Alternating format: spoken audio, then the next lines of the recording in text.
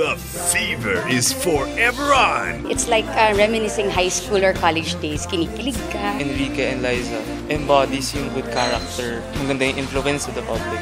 May chemistry po talaga sila. Hindi lang siya pang teenager, pang mamis din. Sigaw ng bayan, Liz Ken pa more. Manonood ako nitong movie na ito, patagal na stress. The fact na they are the main characters, it's something to look forward to. Excited ako sa movie kasi alam kong ibang identity yung makikita sa kanya. Just the way you are.